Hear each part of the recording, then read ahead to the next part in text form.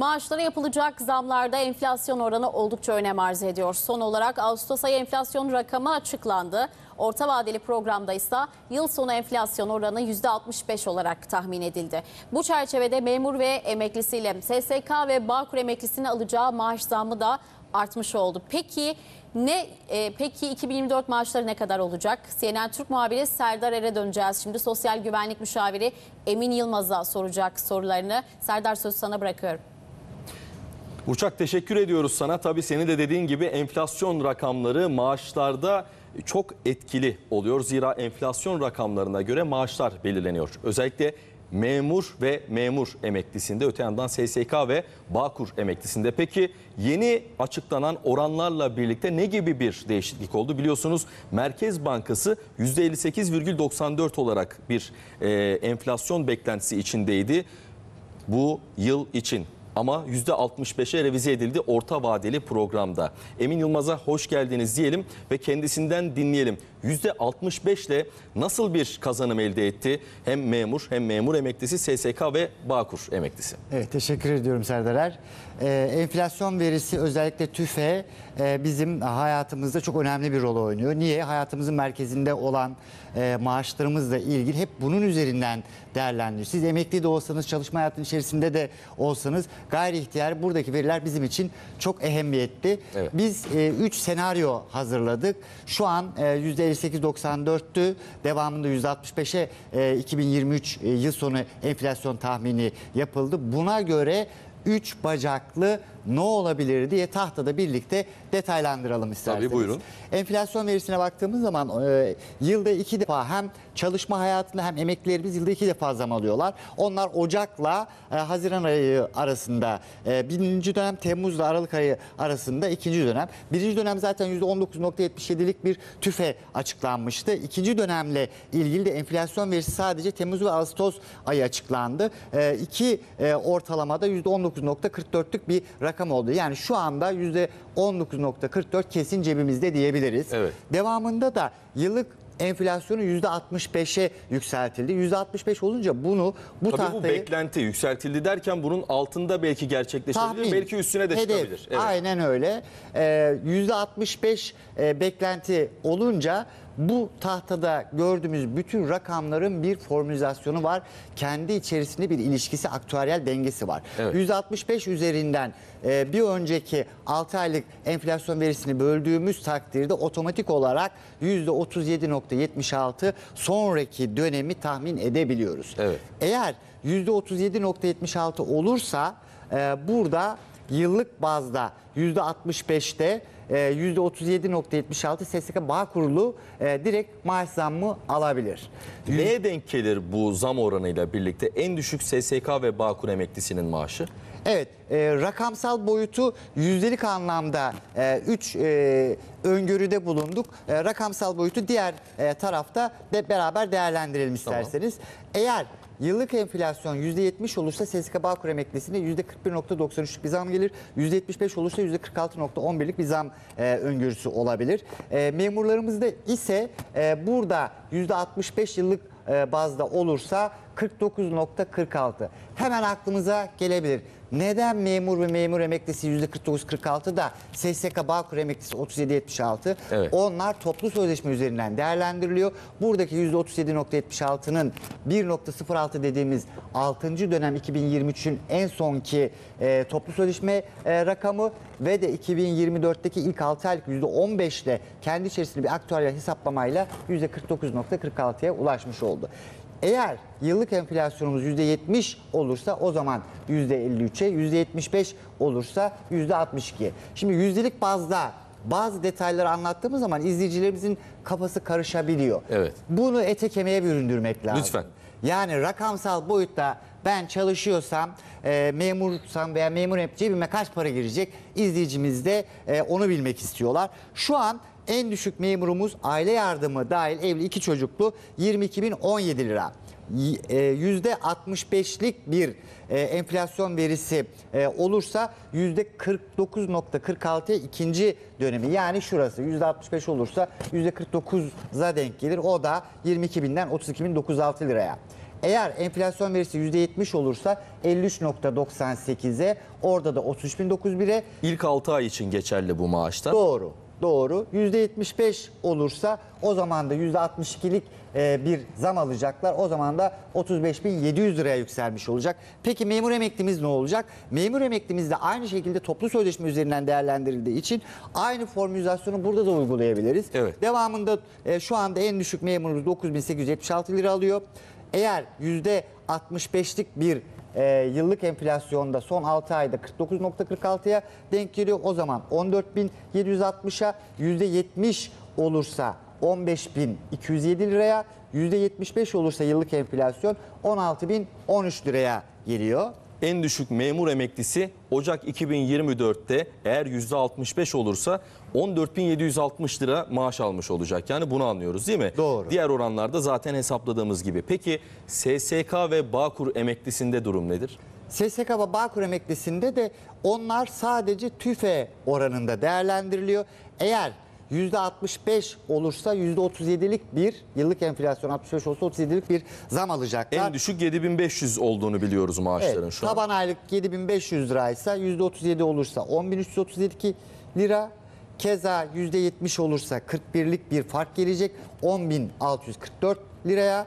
%75 olursa da e, 46'lık bir fark gelecek 10958 liraya ulaşmış olacak. Asgari ücret bu noktada yazmışsınız hemen alt noktada. Orada e, bağlantı nedir? Şimdi asgari ücret e, Aralık ayında komisyon e, vasıtasıyla işçi işveren sendikası pazarlık usulü oluyor. Ama yasalarımız doğrultusunda açıklanan enflasyon altında e, maaş vermek kanunen yasak. Evet. Dolayısıyla %65 yıllık enflasyon olursa %37 üzerinden hesaplama yapabiliriz burada. Tabii ki bunun üzeri gelecektir bir refah payı eklentisi olacaktır pazarlıktan çıkacaktır ama şu an için 11.402 liraysa %37 lirayla 15.707 liraya yükselmesi şu an için mümkün gözüküyor. Şimdi bu konuyu anladığımızı zannediyorum. Yani izleyenlerimiz de yüksek ihtimal anlamıştır. Peki bir başka detay var aslında o da e, tamamlayıcı emeklilik sistemi konusu gündeme geldi. Yine orta vadeli programla birlikte aslında duyduğumuz e, detaylar bunlar.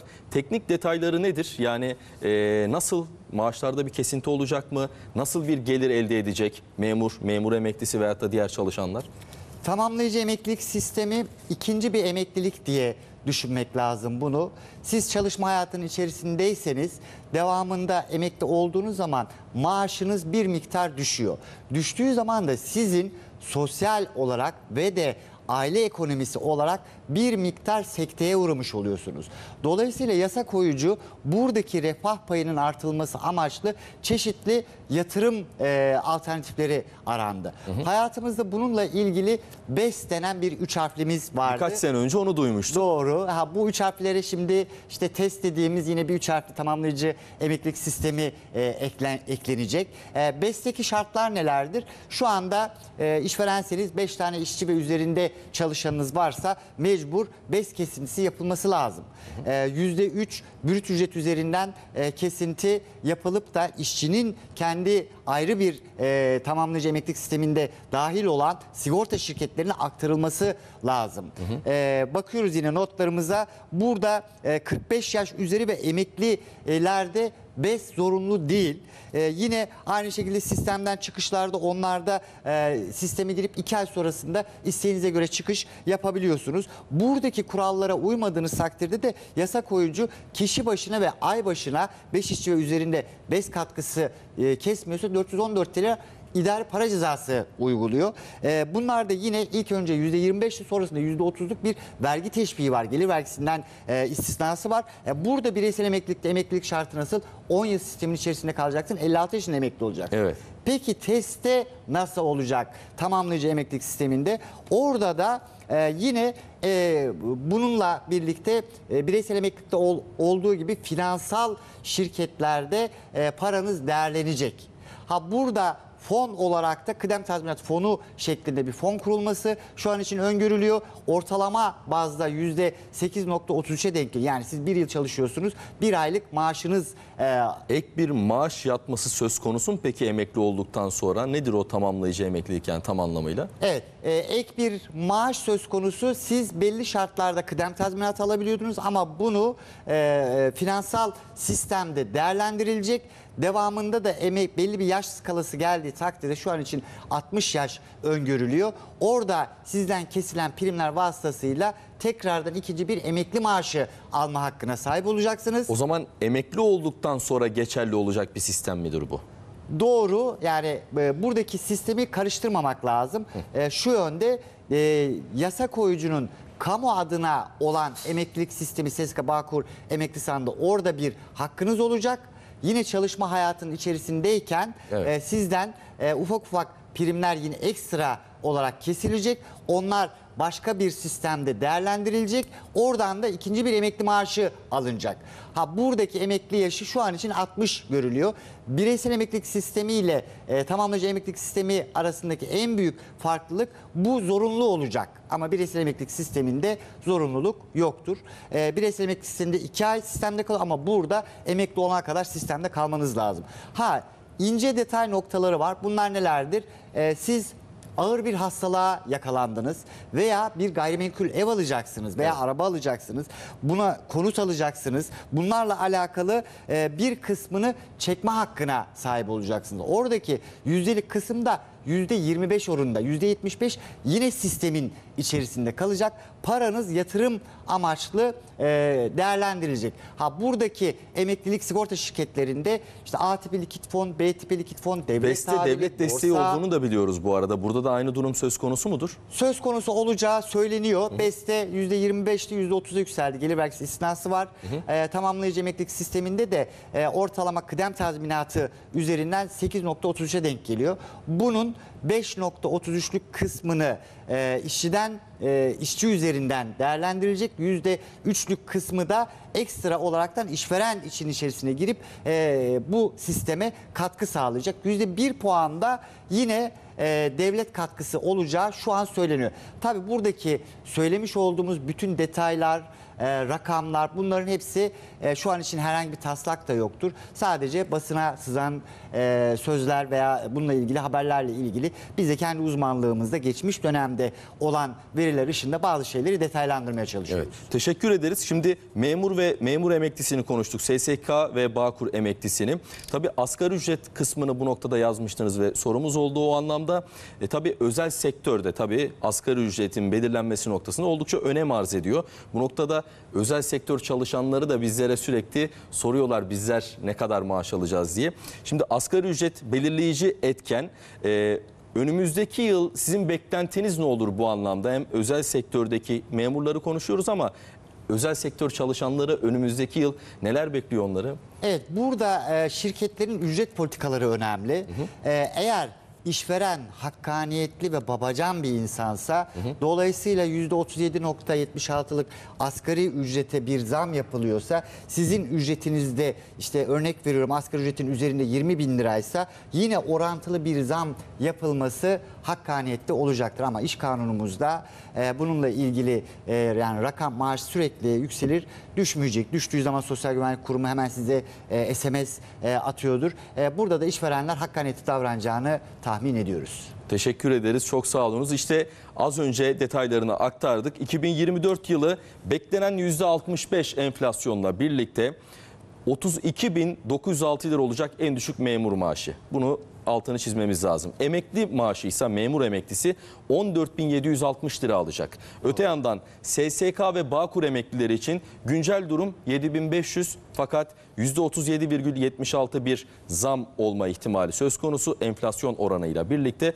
O noktada da 10 binin üzerinde bir rakam karşılıyor bizleri ve asgari ücrette de yine bu oranda bir zam yapılması beklentisi söz konusu ki özel sektör bunun biraz daha üstüne çıkabilir e, ifadesini kullandınız. Siz 15.707 lirayı buluyor. Bu rakamların üstüne de tabii ki çıkma ihtimali söz konusu. Çok teşekkür ederiz. Çok Ben açıklayıcı oldu aslında. Bütün detaylarıyla konuşmuş olduk. Sosyal güvenlik müşaviri Emin Yılmaz tüm detayları bizlere aktardı. E, sözü tekrar size bırakalım buradan şimdi.